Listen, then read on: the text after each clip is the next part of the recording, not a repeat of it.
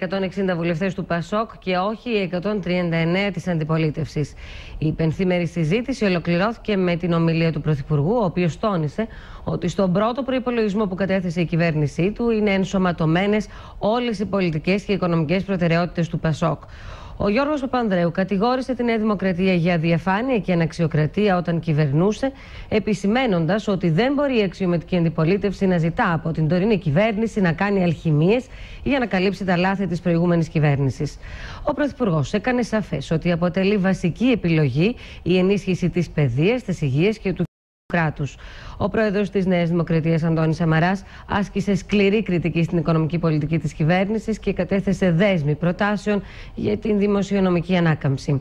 Η Έλεκα Παπαρίγα κατηγόρησε το Πασόκ για παραπλάνηση του λαού. Ο Γιώργος Καρατζαφέρης έκανε σκληρή επίθεση για τη χορήγηση ηθαγένειας και ψήφους στους μετανάστες. Και ο Αλέξης Τσίπρας τόνισε ότι η μείωση και η καθήλωση των μισθών δεν είναι λύση για την αντιμετώπιση της οικονομικής κρίσης. Το σχέδιο νόμου του Υπουργείου Οικονομικών κύρωση του κρατικού προπολογισμού και των προπολογισμών ορισμένων ειδικών ταμείων και υπηρεσιών οικονομικού έτους 2010 έγινε δεκτό κατά τον κανονισμό της Βουλής.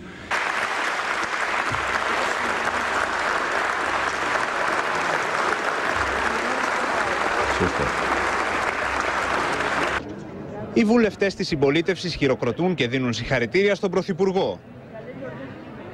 Νωρίτερα, ο Γιώργος Παπανδρέου χαρακτήρισε τον προϋπολογισμό του 2010 συμβόλαιο του ελληνικό λαό.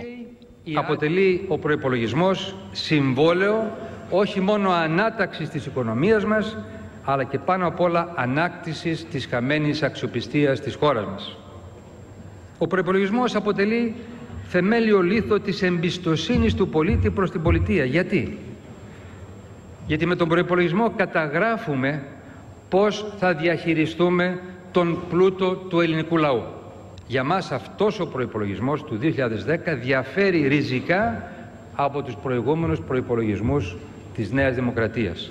Εγγυόμαστε για πρώτη φορά στην ιστορία του τόπου ότι ο Έλληνας φορολογούμενος, ο κάθε Έλληνας θα μπορεί να ξέρει και να παρακολουθεί πού πηγαίνουν τα χρήματά του. Και πιστεύω ότι θέλει πραγματικά θράσος απίστευτο εκείνοι που ξεκίνησαν αυτό το φαύλο κύκλο ελλημάτων χρέους να κατηγορούν εμάς ότι δεν το σταματήσαμε. Αυτοί που έβγαλαν δηλαδή από το κλουβί το τέρας των ελλημάτων και του χρέους να καταγγέλουν όσους δεν μπόρεσαν να νικήσουν το θεριό. Ναι, πράγματι δεν καταφέραμε να νικήσουμε το θεριό. Όπως δεν τα καταφέρατε ούτε κι εσείς, κι ας ήταν δικό σας δημιούργημα, κι ας είχατε πολλαπλάσιο χρόνο στη δικιά σας διάθεση για να το μειώσετε. Ήρθαν να μειώσουν δίθεν το έλλειμμα και μας πληροδότησαν το μεγαλύτερο χρέος και έλλειμμα των τελευταίων δεκαετιών ήρθαν να επανειδρύσουν το κράτος το οποίο σήμερα βρίσκεται στα πρόθυρα της κατάρρευσης. Ήρθαν να αντιμετωπίσουν όπως είπαν τη διαπλοκή και έγιναν η καρδιά του προβλήματος. Όταν τα έκαναν θάλασσα και τα βρήκαν σκούρα, ναι, εγκατέλειψαν το σκάφος. Σε αυτές τις συνθήκες δεν μπορεί να χορηγούνται αυξήσεις σε υψηλόμισθος, ούτε και να συντηρούνται προνόμια και μισθολόγια για τα Golden Boys, όπως και τους απαράδεκτα υψηλούς μισθούς στελεχών όπως της ΕΡΤ. Θα θέλατε για να μην είμαστε ανεύθυνοι να μην εκπληρώσουμε το προεκλογικό μας πρόγραμμα. Όχι κύριοι της Νέας Δημοκρατίας, δεν είμαστε δέσμοι, είμαστε δεσμευμένοι. Δεσμευμένοι απέναντι στον Έλληνα πολίτη για να γυρίσουμε σελίδα σε αυτόν τον τόπο. Δεν ήρθατε για να ενώσετε την κοινοβουλευτική αντιπροσωπεία του ελληνικού λαού μπροστά στους μεγάλους κινδύνους που αντιμετωπίζει ο τόπος, αλλά για να καταγγείλετε τη Νέα Δημοκρατία. Να ξέρετε, η συνενετική μας διάθεση, κύριε Πρόεδρε, είναι αρετή. Δεν είναι αδυναμία. Δεν τη θέλετε, δεν θα την έχετε. Ελπίζουμε την επόμενη φορά που θα έλθετε για την αναθεώρηση αυτού του προπολογισμού να δείξετε πιο υπεύθυνοι, πιο τολμηροί, πιο συνενετικοί και βέβαια λιγότερο αλαζόνες. Ελάτε Παρακαλώ, να βοηθήσετε να κάνουμε τις μεγάλες αλλαγές. Ελάτε. Και χαίρομαι πράγματι ότι ο κύριος Σαμαράς στη συνάντηση με, με τον πρόεδρο της Δημοκρατίας πράγματι στήριξε και έφερε και προτάσεις για την εμπετώπιση της διαφθοράς. Σας καλώ να υπερψηφίσετε τον προϋπολογισμό και από αύριο να δώσουμε όλοι μαζί την κρίσιμη μάχη για την πατρίδα μας, για την ελπίδα, για κάθε Έλληνα, για κάθε Ελληνίδα. Σας ευχαριστώ.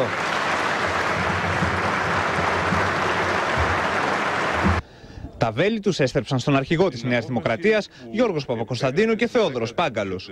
Βάλτε λοιπόν πλάτη, βάλτε μια, ένα χέρι να αλλάξουμε το εκλογικό σύστημα, να αλλάξουμε το διοικητικό χάρτη της χώρας, να κλείσουμε τις πόρτες, τα παράθυρα, τους φεγγίτες από τους οποίους μπαίνουν οι διάφοροι στο δημόσιο και γίνονται μόνιμοι δημοσιοπάλληλοι. Να, στάδιο δόξης λαμπρών. Σήμερα κατάλαβα, ακούγοντας τον αρχηγό της Νέας Δημοκρατίας, κατάλαβα ότι αποδέχεται την απάτη. Κατάλαβα ότι τόσο καιρό δεν έχει ακούσει ούτε την Ευρωπαϊκή Επιτροπή, ούτε την Τράπεζα της Ελλάδος, ούτε από όλους όσους μιλάνε και λένε ότι το έλλειμμα στα μέσα του έτους πήγαινε για 10% και σήμερα θέλει να πείσει τους Έλληνες πολίτες ότι δεν έγινε απολύτως τίποτα. Ε, όχι. Δεν γίνεται, έγινε απάτη και το γνωρίζουν πάρα πολύ καλά οι Έλληνες πολίτες. Ευθύνες σε Νέα Δημοκρατία και Πασόκ καταλόγησαν οι αρχηγοί της Ελλάσσονο Αντιπολίτευσης για την κατάσταση στην οικονομία. Χρωστάνε τράπεζες και κυβερνήσεις στα ασφαλιστικά ταμεία. Αυτά τα οποία είχαν δεσμευτεί, δεν τα έδωσαν. Το, το κράτος, οι κυβερνήσεις τη Νέα Δημοκρατία και του Πασόκ χρόνια εισπράττουν φόρους για λογαριασμό της τοπική αυτοδιοίκησης που δεν τους αποδίδουν. Εμείς είμαστε αντίθετοι με τα πολλά κανάλια και τα πολλά χέρια φόρων. Αλλά, εν πάση περιπτώσει, έχετε εισπράξει. Αυτά γράφονται στον κρατικό προπολογισμό. Τα παραγράφετε. Και η Νέα Δημοκρατία και εσείς. Με ποιο δικαίωμα τα παραγράφετε; Και θέλετε οι εργαζόμενοι να παραγράψουν κατακτήσεις σημαντικές σε μια περίοδο που έγιναν ισχνέ και από ένα σημείο και μετά. Από πού θα γίνει η ανάπτυξη; Εάν δεν καπνίσουν καμινάδες, δεν κάνουμε τίποτα. Κάνουμε μια τρύπα στο νερό. Έχουμε βάλει τον Black and και κάνουμε τρύπα στο νερό. Δεν γίνεται.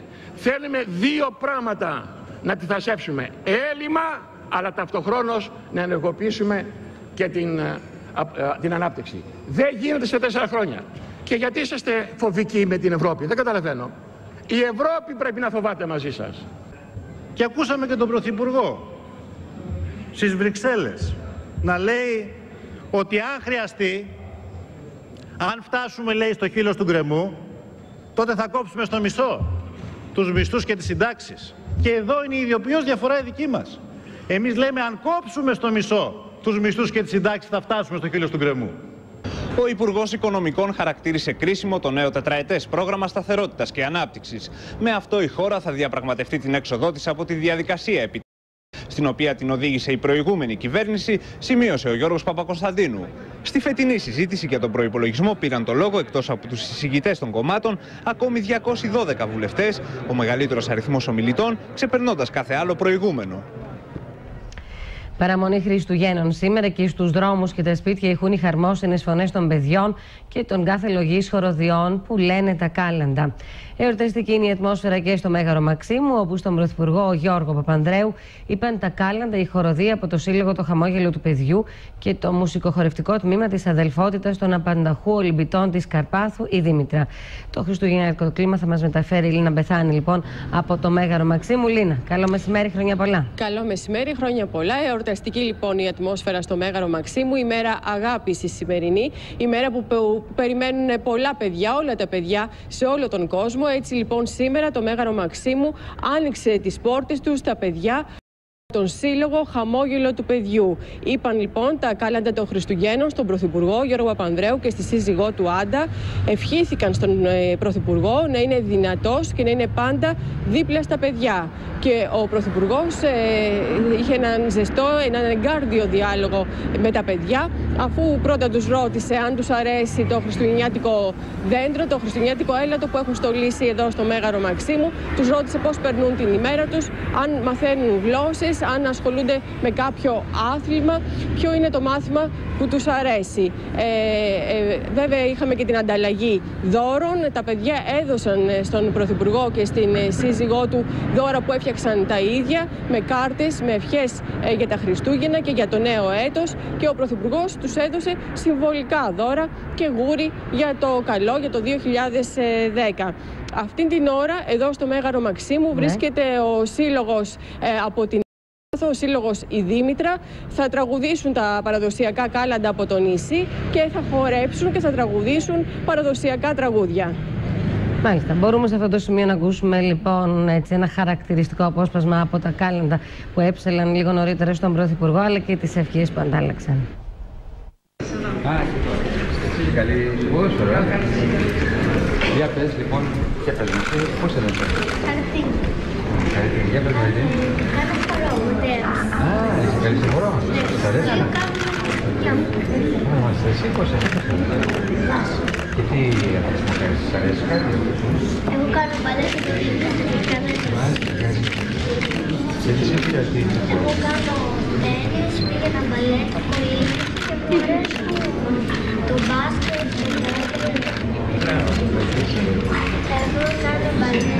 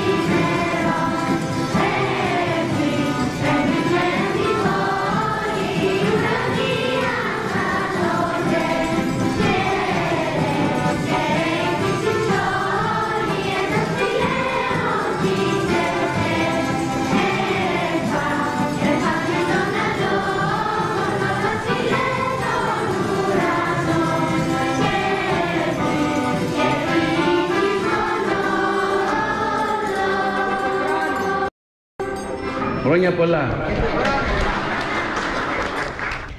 Και από το Μέγαρο Μαξίμου να πάμε στη Ριγίλη, Χριστουγεννιάτικο το σκηνικό και στα γραφεία της Νέας Δημοκρατίας, όπου είπαν τα κάλαντα στον Αντώνη Σαμαρά, η παιδική χοροδία των χωριών ΣΟΣ και ο Σύλλογος Προσκόπων. Την ατμόσφαιρα θα μας μεταφέρει ο Γιάννης Τρουπής.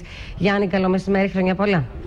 Χρόνια πολλά, Αντένια. Πράγματι είναι εορταστικό το κλίμα και εδώ βεβαίως. Παραμονή Χριστουγέννων στα γραφεία της Νέας Δημοκρατίας στη Ριγίλης. Ε, είναι τα πρώτα Χριστούγεννα που βρίσκουν τον νέο πρόεδρο της Νέας Δημοκρατίας, τον Αντώνη Σαμαρά, στην ηγεσία του κόμματος. Ο κύριος Σαμαράς, λοιπόν, μαζί με την ε, σύζυγό του, άκουσαν τα χριστουγεννιάτικα κάλατα καταρχήν από τα παιδιά των χωριών SOS. Ήταν μια πραγματικά ιδιαίτερη στιγμή όταν ε, παιδιά κάθε ηλικίας έψαναν τα χριστουγεννιάτικα κάλαντα στον πρόεδρο της Νέας Δημοκρατίας και στη σύζυγό του. Το Ζεύγος Σαμαρά έδωσε δώρα, πρόσφερε δώρα στα μικρά παιδιά. Ιδιαίτερη στιγμή, θα έλεγα την παράσταση, έκλεψε η μικρή Νεφέλη, ένα μικρό δύο ετών, ε, η οποία έψαλε με τον δικό της τρόπο τα χριστουγεννιάτικα κάλαντα και έκλεψε πραγματικά την παράσταση αφού μαγνήτησε όλα τα βλέμματα των παρευρισκόμενων. Από εκεί και πέρα ήρθε εδώ στα γραφεία της Νέας Δημοκρατίας και η χοροδία από το Σώμα Ελλήνων Προσκόπων. Μάλιστα ο κύριος Σαμαράς αφού άκουσε τα χριστουγεννιάτικα κάλαντα ζήτησε ακόμα ένα, από τα παιδιά να ψάλουν ένα σκοπό. Εκείνα προτίμησαν να πούνε ένα προσκοπικό τραγούδι. Ήταν και αυτό μια ακόμα ιδιαίτερη στιγμή εδώ. Βεβαίως έγινε η ανταλλαγή δώρων. Έδωσε τα παιδιά από τους προσκόπους, ε, οι πρόσκοποι έδωσαν δώρα δικά τους που έχουν φτιάξει τα ίδια από το Σώμα Ελλήνων Προσκόπων. Ε, από εκεί και πέρα το Ζεύγο Σαμαρά έδωσε δώρα και γούρια για τον ερχομό του νέου έτους. Ε, κλείνοντας να σου πω εδώ από τη Ρικίλης ότι υπάρχουν πολλά στελέχη που ήρθαν για να ανταλλάξουν ευχές με τον πρόεδρο της Νέας Δημοκρατίας. Είδαμε τον κύριο Μαρκόπουλο, την κυρία Ναι. Παπακώστα, τον κύριο Χατζηδάκη πριν από λίγο μπήκε στο γραφείο του Προέδρου, όπως ε, και ο Μάλιστα. Μπορούμε να ακούσουμε ένα απόσπασμα από τα κάλαντα που έψαλαν πριν από λίγο στον Αντώνη Σαμαρά, αλλά και τις ευχές που αντάλλαξε ο πρόεδρος της Νέας Δημοκρατίας με τα παιδιά. Να τα πούμε. Να τα πείτε. Θα τα πούμε, ωραία. Λοιπόν, καλημέρα να πούμε.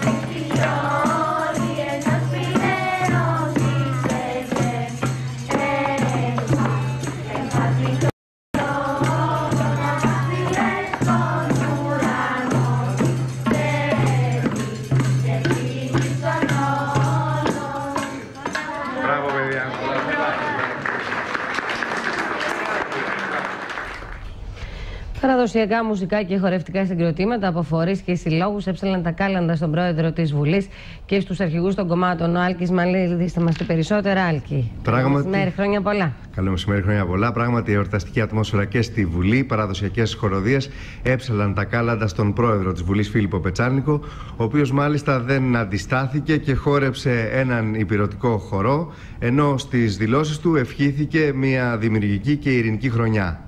Νομίζω μπορούμε να παρακολουθήσουμε. Βλέπουμε εδώ τον κύριο Πετσάλικο να χορεύει. Να χορεύει ακριβώς. Παραδοσιακό υπηρώτικο.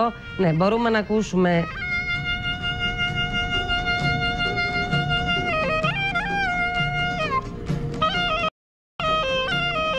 Πάρα πολύ. Σε ευχαριστώ πάρα πολύ. Εμείς ε, σε ευχαριστώ πάρα πολύ. Και να ακούσουμε, μπορούμε να ακούσουμε σε αυτό το σημείο τα κάλαντα που έψαλαν στον κύριο Πετσάλικο.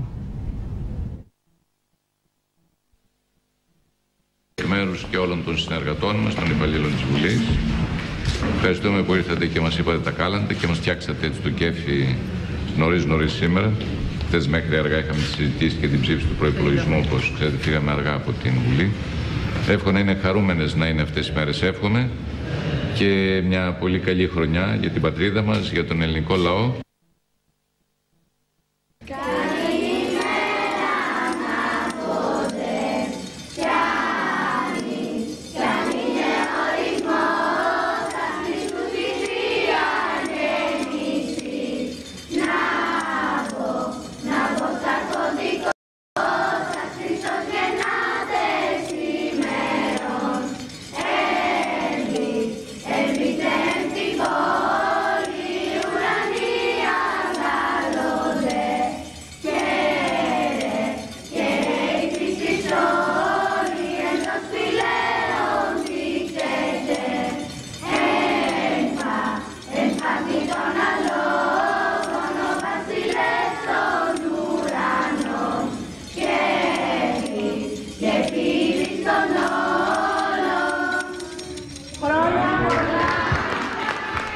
Ακούσαμε λοιπόν τα κάλαντα που έψαλαν στον πρόεδρο της Βουλής, αλλά και τις ευχές του κ. Πετσάλνικου για τα Χριστούγεννα. Ναι, να προχωρήσουμε λέγοντας ότι στη Γενική Γραμματέα του ΚΚΕ Αλέκα Παπαρίγα τα κάλαντα έψαλαν οι εργαζόμενοι σε προγράμματα ΣΤΑΖ. Αμέσως μετά η κυρία Παπαρίγα έκανε ιδιαίτερη αναφορά τόσο σε αυτή την κατηγορία των εργαζομένων, αλλά και γενικότερα στο πρόβλημα της ανεργίας, σημειώνοντας Είμαστε αποφασισμένοι, έχοντας βέβαια μπροστά μας τους 600, 700, 900 ανέργους, ότι πρέπει για κάθε μια κατηγορία ανέργων, όπως είναι τα παιδιά αυτά ή άλλοι απολυμμένοι στα εργοστάσια, να υπάρχει και κοινή και ιδιαίτερη αλληλεγγύη. Ο πρόεδρος του Λαός, Γιώργος Καρατζαφέρης, άκουσε τα κάλαντα από την πολιτιστική μουσικοχορευτική ομάδα Καστελόριζου και από τους βρακοφόρους της Κρήτης. Ο πρόεδρος του ΣΥΡΙΖΑ, Αλέξης Τσίπρας, άκουσε τα κάλαντα από ποντιακά και υπηρετικά παραδοσιακά συγκροτήματα.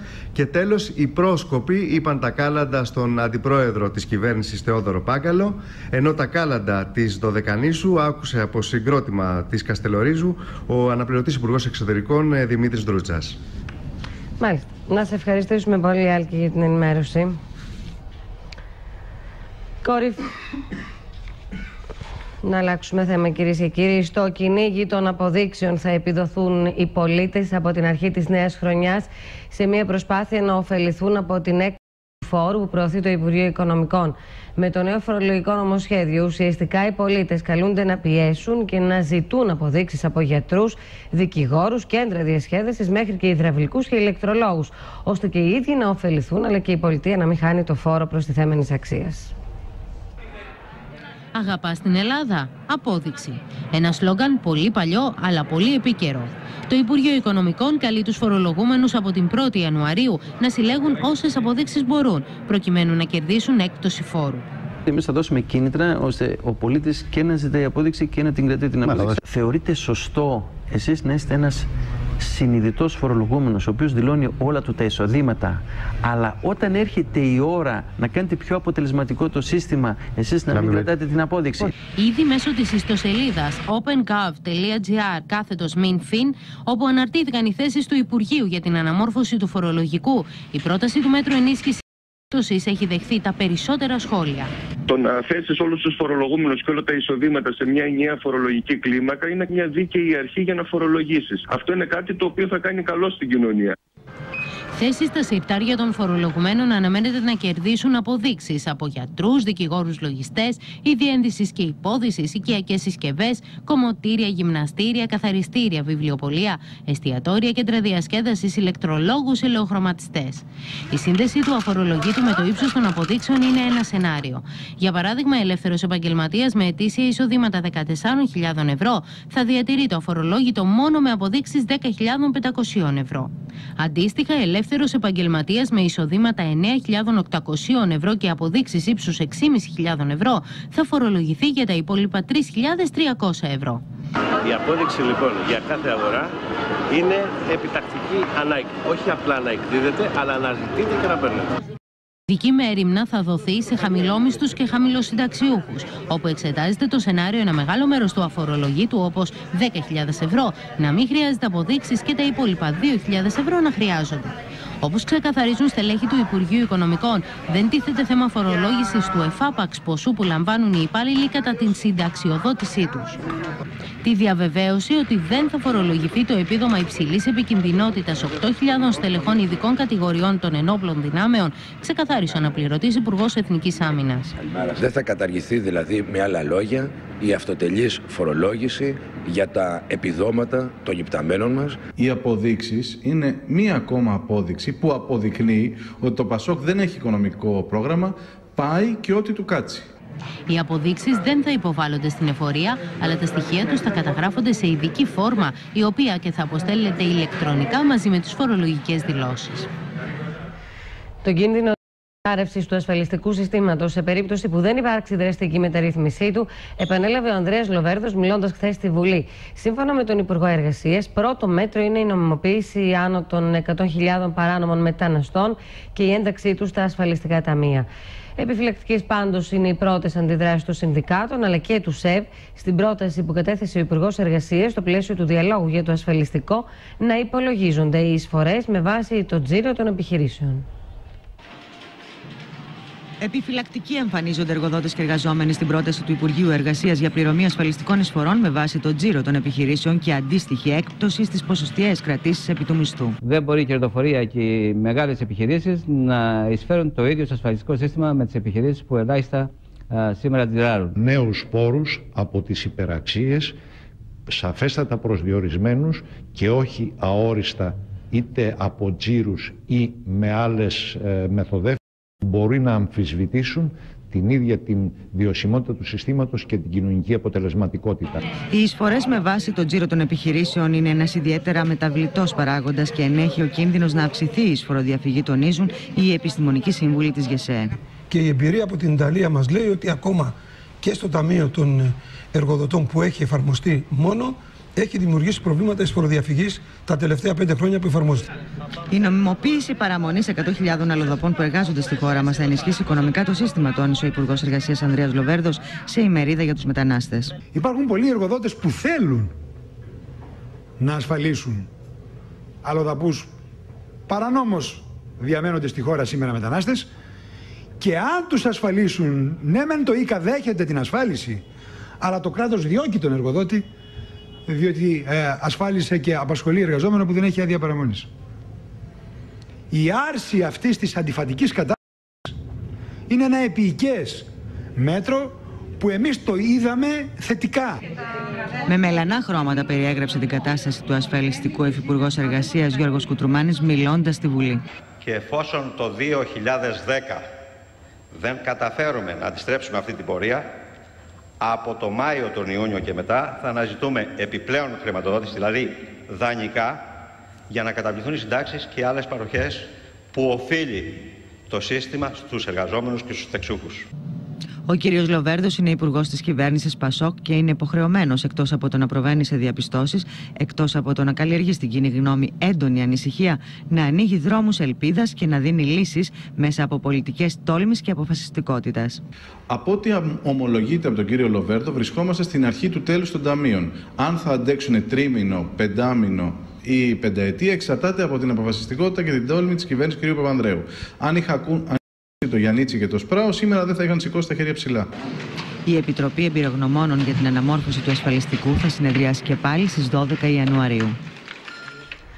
Αλλάξουμε θέμα κυρίες και κύριοι. Με καλό καιρό και υψηλές για την εποχή θερμοκρασία κορυφώνεται σήμερα παραμονή Χριστουγέννων η έξοδος των εκδρομέων. Γεμάτα τα τρένα, τα λεωφορεία και τα αεροπλάνα προς τους δημοφιλείς προορισμούς. Μανόμετρα για την ομαλή έξοδο και επιστροφή των εκδρομέων κατά την περίοδο των εορτών έχει λάβει η τροχέα. Με σύμμαχο τον καλό καιρό, οι εκδρομεί των Χριστουγέννων εγκαταλείπουν με κάθε μέσο την Αθήνα. 100.000 αυτοκίνητα, δηλαδή 30.000 περισσότερα σε σχέση με πέρσι, πέρασαν από τα διόδια Ελευσίνας και Αφιτνών χτες την πρώτη μέρα της εξόδου. Σε κυκλοφοριακές ρυθμίσεις προχωρά από σήμερα έως ανήμερα των φώτων τροχέα με έκτακτα μέτρα και στις εθνικές οδούς. Σε όλο το δίκτυο υπάρχουν ε, αυξημένα μέτρα. Όλο το σύνολο της δυνάμεώς μας είναι υπηρεσία και ε, μέχρι τις 6 Ιανουαρίου Αυξημένη κατά 15% είναι η κίνηση των ΟΣΕ σε σχέση με πέρσι. Μεγάλη ζήτηση στα εισιτήρια των τρένων παρατηρείται κυρίως στα δρομολόγια προς τη Βόρεια Ελλάδα λόγω των κατολιστήσεων στα τέμπη. Ωστόσο, για να κλείσουν το εισιτήριό τους οι επιβάτες θα πρέπει να μεταβούν στους κεντρικούς σταθμούς, καθώς το τηλεφωνικό κέντρο κράτησης θέσεων 1110 δεν λειτουργεί λόγω λήξης της σύμβασης με την διαχειρίστρια εταιρεία. Μεγάλη κίνηση και στα κτέλ στον Κηφισό που σήμερα έχουν προγραμματιστεί επιπλέον 150 δρομολόγια. Να ξέρει ο κόσμος αυτό που λέμε τα κτέλ δεν θα βρει ποτέ κανένα πρόβλημα όσον αφορά προμήθεια εισιτηρίων. Το έχουμε αποδείξει άλλωστε όλα τα χρόνια. Έχουμε φροντίσει να φύγει και ο τελευταίος επιβάτης. Με δημοφιλείς προορισμούς στη Θεσσαλονίκη, το Ηράκλειο, τη Ρόδο και τα Χανιά, αναχωρούν οι εκδρομείς από τον Διεθνή Αερολιμένα Αθηνών, με την κίνηση για την περίοδο των Χριστουγέννων να είναι αυξημένη κατά 12% σε σχέση με πέρσι. Παραμονή Χριστουγέννων έχουν προγραμματιστεί 467 πτήσεις, ανήμερα 391 πτήσεις, ενώ το Σάββατο 26 Δεκεμβρίου θα πραγματοποιηθούν 420 πτήσεις και την Κυριακή 480. Με καλοκαιρία και ψηλές για την εποχή θερμοκρασία, σύμφωνα με τις προβλέψεις της ΕΜΗ, θα περάσουν τις γιορτές τους οι εκδρομή. Οι υψηλές για την εποχή θερμοκρασίες, η πρόσκαιρα πολύ ισχυρή νοτιάδες στα πελάγη και η τοπικά περιορισμένη ερωτότητα τις πρωινές ώρες στα υπηρετικά θα είναι τα κύρια χαρακτηριστικά του καιρού σήμερα Πέμπτη, την ημέρα του Χριστουγέννων αλλά και την επομένη. Ωστόσο, δεν θα λείψουν οι τοπικές βροχές στα δυτικά και βόρεια τμήματα της χώρας. Από την Κυριακή πάντως περιμένουμε σταδιακή μεταβολή του καιρού με τοπικές βροχές και καταιγίδες στα δυτικά, κεντρικά και βόρεια τμήματα της χώρας και πρόσκαιρες χιονοπτώσεις στα ορεινά. Μεγαλύτερη προσοχή και χαμηλότερες ταχύτητες συνιστά η τροχέα. Μια και είναι στο χέρι μας να προστατεύσουμε τις ζωές μας και να κάνουμε τις μετακινήσεις μας ασφαλέστερες. Κορυφώνεται τις επόμενες ώρες η έξοδος των εκδρομέων για τα Χριστούγεννα. Να δούμε σε αυτό το σημείο κυρίες και κύριοι ποια είναι η κατάσταση στα τέμπη. Απερίγραπτη ταλαιπωρία εξακολουθούν να βιώνουν όχι μόνο οι οδηγοί που διέρχονται από την Αλασσόνα, αλλά και οι κάτοικοι της περιοχής λόγω του κυκλοφοριακού φόρτου που υφίστανται. Όντως είναι δύσκολο. Ό,τι χειρότερο υπάρχει. Για μας εδώ καυσαέριο χορτάσαμε και σκόνη. Η διέλευση των φορτηγών δίπλα από σχολεία και σπίτια της περιοχής ανησυχεί τις τοπικές αρχές, που ζητούν να δημιουργηθούν μικρές παρακαμπτήριες οδοί στη νότια πλευρά της πόλης. Οι οδηγοί πρέπει να μειώνουν τις ταχύτητές τους για να μην σημειωθούν ατυχήματα. Είναι πολύ ολιστρό το οδόστρωμα εκεί. Παγετό θα έχουμε έτσι και λέω γιατί χειμώνας είναι. Πρέπει να προσέχουν ιδιαίτερα οι οδηγοί. Οι καταστηματάρχες διαπιστώνουν κατακόρυφη πτώση του τζίρου τους. Απαγορεύεται το παρκάρισμα πλέον και εντάξει, η πελατεία. Η διάρκεια του ταξιδιού Αθήνα-Θεσσαλονίκη αυξήθηκε σημαντικά. Μια μικρή οδύσσια περνούν καθημερινά οι οδηγοί κυρίως μεγάλων φορτηγών που κινούνται από τη Λάρισα προς τη Θεσσαλονίκη. Κάτω από κανονικές συνθήκες απαιτούνται 150 χιλιόμετρα, ενώ σήμερα θα πρέπει να διανύσουν 100 χιλιόμετρα περισσότερα. Οι επιστήμονες εξακολουθούν να αποδίδουν τη φωνική κατολίσθηση στις υψηλές και παρατεταμένες βροχοπτώσεις της προηγούμενης περίοδου που ακολούθησαν μετά από έντονη περίοδο ξηρασίας. Επισημαίνουν επίσης ότι και όλα τα απαιτούμενα μέτρα να είχαν ληφθεί θα ήταν αδύνατη η συγκράτηση του πετρώματος. Τα μέτρα αυτά, κατά την εκτίμηση των ειδικών, των εμπειρογνωμών του ΤΕ, δεν θα μπορούσαν να συγκρατήσουν το συγκεκριμένο γκόλιθο, λαμβανομένης υπόψη της ορμής που από τα 70 μέτρα ύψους ε, απέκτησε ο πρόεδρος του Γεωτεχνικού Επιμελητηρίου πάντως δεν αποκλεί και το ενδεχόμενο να επηρέασαν τις κατολιστήσεις ή εκρήξεις για τη διάνοιξη της σύραγγας. Η συνεχής και επαναλαμβανόμενη ε, καταπώνηση της βραχομάζας ε, εκρήξεις στα μέτωπα της διάνοιξης της σύραγγας. Που αυτό βεβαίως δεν είμαστε σίγουροι, αλλά θα πρέπει να διαπιστωθεί. Και πριν τις κατολιστήσεις, η διέλευση από την κοιλάδα των τεμπών δεν ήταν ασφαλής λόγω της διάταξης των πετρωμάτων και της έντονης αποσάθρωσης σε αρκετά σημεία. Η διέλευση από την κοιλάδα των τεμπών, σύμφωνα με τους επιστήμονες, θα είναι ασφαλής μόνο όταν ολοκληρωθούν οι σύραγγες. Να πάμε τώρα κυρίες και κύριοι να δούμε ποια είναι η κατάσταση αυτή την ώρα στα οδικά δίκτυα. Ο συνάδελφος Φάνης Καραμπατσάκης βρίσκεται στις Αφίδνες και η Κωνσταντίνα Θεοχαρούλη θα μας ενημερώσει για τα προβλήματα στα Τέμπη αλλά και για τις εναλλακτικές διαδρομές που επιλέγουν οι οδηγοί. Καλό σας μεσημέρι και στους δύο χρόνια σας πολλά. Φάνη, να ξεκινήσουμε με σένα που βρίσκεται στα διόδια των Αφιδνών και να μας πεις ποια είναι η εικόνα αυτή την ώρα εκεί. Ε, Όπως θα δείτε και εσείς, ε, για την ώρα τουλάχιστον δεν υπάρχει κανένα απολύτως πρόβλημα. Δεν υπάρχει κίνηση εδώ στα διόδια των Αφιδνών και ειδικά στο, στο ρεύμα της εξόδου. Αυτό που μας ενδιαφέρει. Προφανώς όσοι έχουν σκέφτονται να εγκαταλείψουν την πρωτεύουσα για τις γιορτές των Χριστουγέννων. Θα το κάνουν τις απογευματινές ώρες σήμερα. Αργότερα εδώ ίσως γίνει μια νέα συγκέντρωση κατοίκων από Δήμους και κοινότητες της Βορειοανατολικής Αττικής που διαμαρτύρονται για τη λειτουργία των διοδίων, όπως είχε γίνει χθες και την Κυριακή. Ενώ αντίστοιχες κινητοποιήσει. Τι, ώρα, τι ώρα θα γίνει αυτή η συγκέντρωση, Φάνη; Ε, υπάρχουν. Ε, ε, για τις 3 η ώρα είχε προγραμματιστεί μια κινητοποίηση, αλλά από ό,τι μαθαίνουμε τώρα ίσως και να μην γίνει.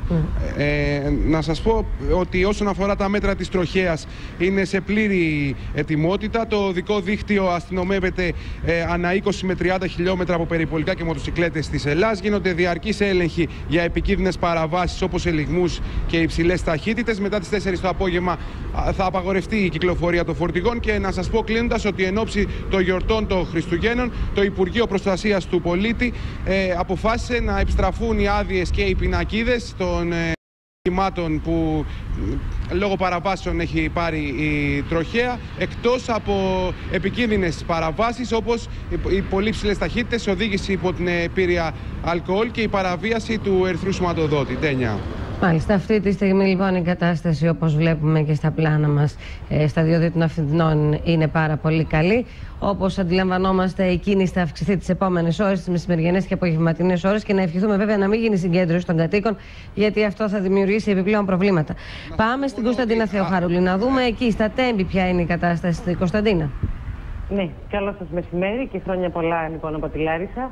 Ε, Ντένιο, δεν υπάρχει κανένα πρόβλημα μέχρι στιγμής στην κυκλοφορία των αυτοκινήτων. Οι εκδρομή ταξιδεύουν κανονικά. Επιλέγουν μία από τις τρεις εναλλακτικές διαδρομές όταν θέλουν να κατευθυνθούν από Αθήνα προς Θεσσαλονίκη, είτε μέσα των παραλίων του νομού Λάρισα, ναι. που είναι και η πιο σύντομη διαδρομή. Από εκεί διοχετεύονται τα γιοταχή αυτοκίνητα και τόνου ε, φορτηγά. Ε, σε ό,τι έχει να κάνει με την Ελασσόνα, από εκεί που περνάνε δηλαδή τα φορτηγά, υπάρχει κίνηση. Ωστόσο, ώρα με την ώρα ε, τα φορτηγά θα σταματήσουν να κινούνται, καθώς υπάρχει η απαγόρευση στην κίνηση. Βέβαια, στις 4 η ώρα. Στι 4 η ώρα και ναι. μετά. Οπότε θα μπορούν ελεύθερα και οι οδηγοί, οι επισκέπτες που κινούνται με τα γιοταχή τους να χρησιμοποιήσουν τους συγκεκριμένους δρόμους, θέλοντας να πάρουν είτε προς Κατερίνη είτε προς Κοζάνη. Θα πρέπει να σας πω ότι σε όλο το μήκος των εναλλακτικών διαδρομών υπάρχουν ισχυρές δυνάμεις της αστυνομίας και της τροχέας, οι οποίοι όχι μόνο ρυθμίζουν την κυκλοφορία και διευκολύνουν έτσι την μετάβαση των εκδρομέων,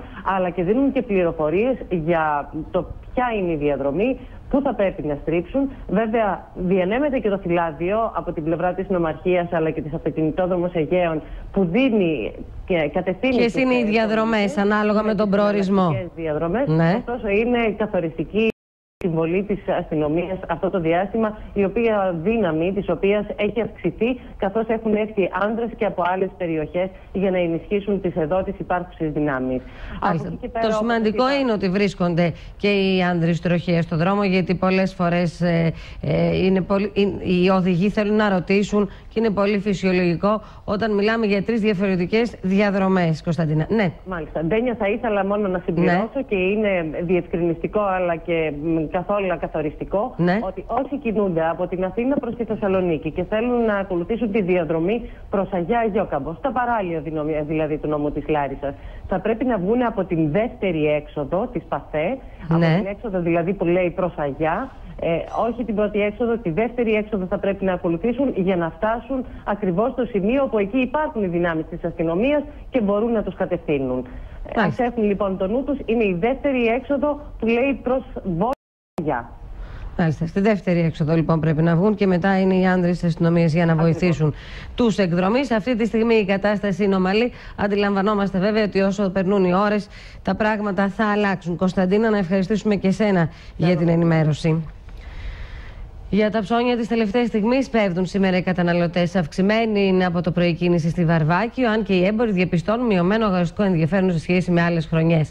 Ανοιχτά μέχρι τις 9 το βράδυ θα παραμείνουν σήμερα τα σούπερ μάρκετ και μέχρι τις 6 το απόγευμα τα εμπορικά καταστήματα.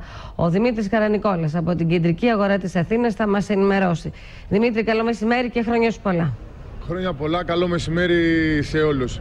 Εδώ στην ε, κεντρική αγορά της Αθήνας, εδώ που χτυπάει η καρδιά των ε, κρεοπολών, η κίνηση από το πρωί μπορώ να πω ότι είναι αυξημένη. Δεν είναι όμως τα επίπεδα τα οποία ήθελαν να βρίσκονται, ε, ήθελε να βρίσκονται η κίνηση οι κρεοπόλες, αφού οι καταναλωτές ε, έχουν κάνει ήδη τα ψώνια τους, ενώ εκείνοι οι οποίοι αποφασίζουν να κάνουν τα ψώνια τους την τελευταία στιγμή έχουν επιλέξει ήδη το τι θα αγοράσουν. Ε, γενικότερα πάντως η κίνηση είναι μειωμένη σε σχέση με τις ε, προηγούμενες ε, χρονιές και αυτό το οποίο παρατηρούν οι κρεοπόλες εδώ στη Βαρβάκιο αγορά είναι πως η κίνηση γενικότερα είναι πεσμένη. Σε ό,τι αφορά στις ε, τιμές θα παρατηρούσα ότι είναι καλές ε, σε σχέση με το τι περίμενε ο κόσμος αλλά και γενικότερα με το τι πουλάγαν οι κρεοπόλες ε, τις προηγούμενες μέρες και για τη γαλοπούλα και για το αρνάκι και για το χοιρινό. Γενικότερα για όλα τα κρεατικά δεν ε, υπάρχουν παράπονα για τις ε, τιμές. Βέβαια ο καθένας θα τα ήθελε να είναι πιο φτηνά τα προϊόντα αλλά γενικότερα οι τιμές δεν, δεν έχουν απόκληση από πέρσι και έτσι εδώ πέρα οι καταναλωτές έχουν κάνει κάποια οικονομία. Βλέπουμε επίσης ε, να υπάρχει αρκετή κίνηση και δίπλα, εκεί πέρα τώρα που ε, βλέπουμε τα πλάνα στους δέκτες στην ε, ηχθιαγορά και εδώ πέρα υπάρχει αρκετή κίνηση ενώ επίσης η κίνηση υπάρχει και στα οποροκυπευτικά τα οποία επίσης οι καταναλωτές από ό,τι λένε και από ό,τι διαπιστώσαμε και εμείς τα βρίσκουν με τιμές οι οποίες έχουν μικρή απόκληση σε σχέση με πέρσι. Ολοκληρώνοντας θα ήθελα να προσθέσω κάτι ακόμα Ντένια ότι γενικότερα σε όλους τους δρόμους της ε, Αθήνας η κίνηση σήμερα δεν είναι τόσο αυξημένη αν εξαιρέσει κάποιος ε, την Ερμού όπου εκεί τα μαγαζιά έχουν αρκετή κίνηση δεν ξέρω βέβαια αν, έχουν και, αν κάνουν και τζίρο. Αν ψωνίζει ο κόσμος, ναι, γιατί ενδέχεται Γιατί... να κατεβαίνει ο κόσμος για βόλτα στον κεντρικό ε, δρόμο. Οι περισσότεροι, οι περισσότεροι κατεβαίνουν για βόλτα, ενώ επίσης αρκετή κίνηση υπάρχει και στις συνοικιακές αγορές. Να ναι. ξεκινήσω από τη Γλυφάδα, να πάω στο Φάληρο, στην Καλυθέα, στη Νέα Σμύρνη, στο Χαλάνδρη, στο Μαρούσι, γενικότερα σε όλες αυτές τις αγορές όπου πάντα υπάρχουν ε, πράγματα τα οποία ενδιαφέρουν τους καταναλωτές σε καλή σε καλές τιμές. Αυτά λοιπόν εδώ από την Βαρβάκη Αγορά. Ναι. Χρόνια πολλά και πάλι σε όλους. Χρόνια πολλά, παραμονή Χριστουγέννων. Λογικό είναι ο κόσμος να πηγαίνει, να σπέβδει για τα ψώνια της τελευταίας στιγμής. Να σε ευχαριστήσουμε, Δημήτρη. Και να περάσουμε στις αστυνομικές μας ειδήσεις, κυρίες και κύριοι. Σε εξέλιξη βρίσκονται οι έρευνες για τον εντοπισμό του αγνώστου, ο οποίος πυροβολεί μέσα από το αυτοκίνητό του ανυποψίες στους περαστικούς. Μέχρι τώρα έχουν καταγραφεί τέσσερις επιθέσεις. Ο Ζώης Κακαβά θα μας δώσει περισσότερες πληροφορίες για το μαύρο τζιπ. Τι, τι νεότερα έχουμε, Ζωή. Ο άγνωστος Ντένια οδηγεί ένα τζιπ με φημέ τζάμια και πυροβολεί μέσα από το τζιπ από το μισάνοιχτο παράθυρο. Ε, πυροβολεί βεβαίως διερχόμενους πολίτες και στη συνέχεια εξαφανίζεται. Τώρα, οι αρχές αναζητούν το δράστη ναι. μέσα από τις κάμερες από τα σημεία των επιθέσεων. Εκεί υπάρχουν, υπήρχαν κάποιες κάμερες, υπάρχει κάποιο. Υπάρχουν κάμερες στα σημεία αυτά, ζωή. Σε κάποια, όχι σε όλα τα σημεία των επιθέσεων. Το υλικό αυτό, όπως καταλαβαίνετε, θα μεταφερθεί στην Γενική Αστυνομική Διεύθυνση για να πάει στα κλιματολογικά εργαστήρια να δουν το υλικό, αν, ε, αν υπάρχουν ε, η πινακίδα, ο αριθμός, κάτι που να οδηγήσει στο δράστη. Τώρα, οι δύο πρώτες επιθέσεις σημειώθηκαν το βράδυ της Δευτέρας στο Βοτανικό και στο Μοσχάτο με θύματα έναν Βούλγαρο και έναν Έλληνα. Το ίδιο βράδυ επίθεση δέθηκε μια γυναίκα που περπατούσε στο δρόμο στο Μοσχάτο. Ο δράστης όμως σε αυτή την περίπτωση αστόχησε και η σφαίρα καρφώθηκε στη τζαμαρία ενός καταστήματος. Την Τρίτη το βράδυ στον Κολονό, άλλη μια γυναίκα τραυματίστηκε από το μανιακό. Εκτιμάται εντένια ότι ο δράστης είναι ένα άτομο που αντιμετωπίζει ψυχολογικά προβλήματα, αφού επιλέγει τα θύματα του τυχαία. Οι μάρτυρες, όπως σας είπα, μέχρι στιγμής δεν έχουν συγκρατήσει κάποια στοιχεία και αυτή τη στιγμή γίνεται μια μεγάλη προσπάθεια από την αστυνομία για να εντοπιστεί ο συγκεκριμένος δράστης. Μάλιστα. Σε ελπίσουμε να εντοπιστεί βέβαια και να περάσουμε και σε ένα άλλο θέμα. Ζω, είχαμε τη σύγκρουση δύο περιπολικών κατά τη διάρκεια καταδίωξης στη Νέα Φιλαδέλφια. Ήταν τρία τα περιπολικά που ναι. καταδίωκαν ένα αυτοκίνητο που έβγαινε της αστυνομίας. Πράγματι, είχαμε την σύγκρουση των περιπολικών και τον ελαφρύ τραυματισμό των δύο αστυνομικών. Τώρα, ο οδηγός του αυτοκινήτου συνελήφθηκε όπως διαπιστώθηκε, είχε δηλώσει ως κλεμμένο το αυτοκίνητό του, όμως στη συνέχεια δεν είχε πάει στην αστυνομία να πει ότι το βρήκε. Κλείνοντας, να σας πω και για την έκρηξη ενός αυτοσχέδιου εμπριστικού μηχανισμού που είχαμε τα ξημερώματα στο Γαλάζι και συγκεκριμένα σε υποκατάστημα της ε, ε, Πυραιό. Εκεί λοιπόν είχαμε μικρές ζημιές στην τζαμαρία του υποκαταστήματος αλλά και σε ναι. δύο σταθμευμένα αυτοκίνητα. Μάλιστα. Ζωή, να σε ευχαριστήσουμε πολύ. Ο 59ο θάνατος από τη νέα γρήπη καταγράφηκε χθες στη χώρα μας. Πρόκειται για έναν 69χρονο, ο οποίος έπασχε από χρόνια νεφρική ανεπάρκεια και παχυσαρκία. Οι επιστήμονες προειδοποιούν ότι θα υπάρξει και νέο πανδημικό κύμα το Φεβρουάριο, το οποίο θα πλήξει κυρίως ενήλικες την ώρα που, σύμφωνα με τα επίσημα στοιχεία, από την ημέρα έναρξης του προγράμματος εμβολιασμού έχουν εμβολιαστεί συνολικά μόλις 350.000 άτομα. Ένας ακόμα άνδρας 69 ετών με βεβαρημένο ιατρικό ιστορικό συγκαταλέγεται στα θύματα του ιού της νέας γρήπης. Το πανδημικό κύμα, σύμφωνα με τους επιστήμονες, βρίσκεται σε ύφεση, αλλά θα διαρκέσει μέχρι τα μέσα Ιανουαρίου. Ωστόσο, εκτιμούν ότι ένα νέο κύμα θα κάνει την εμφάνισή του στα τέλη του χειμώνα με αρχές της άνοιξης. Αν δεν επιτύχει ο εμβολιασμός, εάν η εμβολιαστική κάλυψη παραμείνει χαμηλή, κινδυνεύουμε πολύ σοβαρά από νέο κύμα, το οποίο θα είναι μικρότερο βέβαια, αλλά επειδή θα αφορά ενηλίκους θα είναι πιο θανατηφόρο. Από τους 59 ασθενείς που πέθαναν από νέα γρήπη στη χώρα μας, οι 9 δεν είχαν κανένα πρόβλημα υγείας. Όπως λένε οι ειδικοί, ο εμβολιασμός εξακολουθεί να είναι αναγκαίος, ιδιαίτερα για τις ομάδες υψηλού κινδύνου. Η αναμονή του πιθανού δεύτερου κύματος μας δίνει την δυνατότητα να εμβολιαστεί ένα μεγάλος αριθμός ε, ατόμων, κυρίως τα άτομα με ευπαθείς ε, υποκείμενες νόσους, οι οποίοι και θα έχουν και τον περισσότερο κίνδυνο στο δεύτερο ε, επιδημικό κύμα. Μέχρι στιγμής στη χώρα μας έχει νοσήσει το 27% των παιδιών ηλικίας μέχρι 17 ετών. Όλα τα επιστημονικά δεδομένα από την εμπειρία των εμβολιασμών μέχρι τώρα δείχνουν ότι το εμβόλιο είναι το μοναδικό όπλο για το οποίο μπορούμε να μετριάσουμε τις επιπτώσεις αυτής της πανδημίας. Τα τελευταία δεδομένα για τη νέα γρήπη συζητήθηκαν σε εκδήλωση με τη συμμετοχή διακεκριμένων επιστημόνων. Την ικανοποίησή τους εκφράζουν μετανάστες που ζουν στη χώρα μας από την πρόθεση της πολιτείας να χορηγήσει την ηθαγένεια στα παιδιά τους που γεννήθηκαν ή μεγαλώνουν στην Ελλάδα. Ο Μιχάλης Χρυσοχοίδης, μιλώντας σε ημερίδα για τα φαινόμενα ξενοφοβίας, σημείωσε με έμφαση πως στην αρχή του χρόνου οι μετανάστες θα μπορούν ελεύθερα να πηγαίνουν στον τόπο καταγωγής τους, ενώ θα αλλάξει και η πολιτική χορήγηση ασύλου που ίσχυε έως τώρα. Ο Αχμέτ ζητά το αυτονόητο, ταυτότητα για αυτιά του. Ήταν α, αδιανόητο για έναν, άτομο, για, ένα, για έναν άνθρωπο, για ένα άτομο το οποίο έχει γεννηθεί κάπου. Έχει ε, μάθει τη γλώσσα του, μάλλον έχει γίνει μετρική του γλώσσα. Έχει ενσωματωθεί τελείως στην κοινωνία και να είναι αόρατος, να μην υπάρχει. Με ικανοποίηση δέχθηκαν οι κοινότητες μεταναστών τις εξαγγελίες για χορήγηση ηθαγένειας στους μετανάστες δεύτερης γενιάς.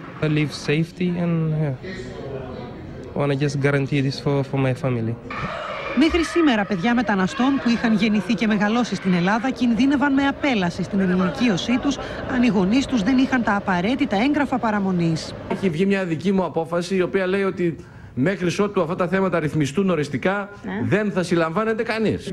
Ο Υπουργός Προστασίας του Πολίτη, σε ημερίδα για τα φαινόμενα ξενοφοβίας και την αξία της διαπολιτισμικότητας, ανήγγειλε μέτρα για τους μετανάστες και τους πρόσφυγες.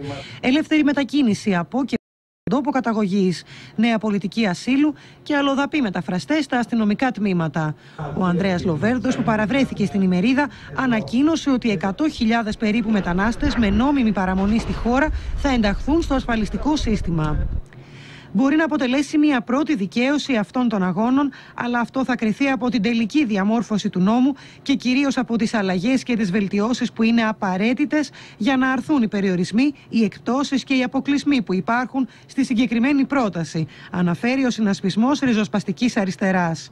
Μέτρα επιπλέον θα ληφθούν ώστε να μην πλήττονται οι μετανάστες από φαινόμενα εργασιακής εκμετάλλευσης αλλά και από κυκλώματα εμπορίας ανθρώπων. Στη διεθνή επικαιρότητα δεν κρύβει την ικανοποίηση του Αμερικανός πρόεδρος Μπάρακ Ομπάμα για την προώθηση των επιλογών του στο σύστημα υγείας της χώρας του. Η προεδρική οικογένεια ανέβαλε έστω για λίγο τις διακοπές της στη Χαβάη προκειμένου να μην χάσει την ιστορική ψηφοφορία. στη Γερουσία που συνεδριάζει στην Ολομέλεια. Οι επικριτές του Πρόεδρου, ωστόσο, τον εγκαλούν ότι παρουσιάζει ίσονο σημασία μεταρρυθμίσεις ως ιστορικά επιτεύγματα. Πολύ ικανοποιημένος από τις μεταρρυθμίσεις που προωθούνται στο σύστημα υγείας και ασφάλισης των ΗΠΑ, εμφανίζεται ο πρόεδρος Μπάρακ Ομπάμα σε συνέντευξη που παραχώρησε στη δημοσία τηλεόραση. Η προεδρική οικογένεια ανέβαλε έστω και για λίγο τις διακοπές στη Χαβάη, προκειμένου ο πρώτος πολίτης να μην χάσει την ιστορική ψηφοφορία στην Γερουσία που συνεδριάζει σε Ολομέλεια. Ο Μπαράκ Ομπάμα απέκρουσε αιτιάσεις που υποστήριζαν ότι το Δημοκρατικό Κόμμα αναγκάστηκε τελικά να ενδώσει σε επώδυνες υπαναχωρήσεις που ακυρώνουν την αξία των μεταρρυθμίσεων προκειμένου να διασφαλίσει την υπερψήφιση του νομοσχεδίου και επανέλαβε.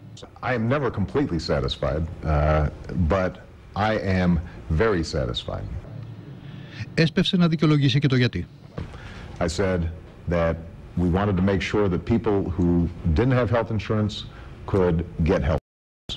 And this bill covers 30 million people who don't have.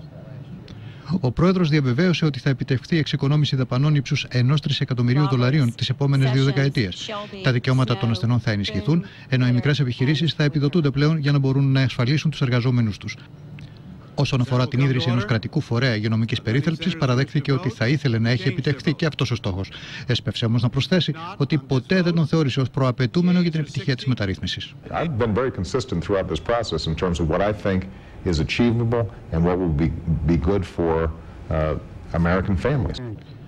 Ο Αμερικανός πρόεδρος δηλώνει πως πρόκειται για τη σημαντικότερη επιτυχία του πρώτου χρόνου της Προεδρίας του.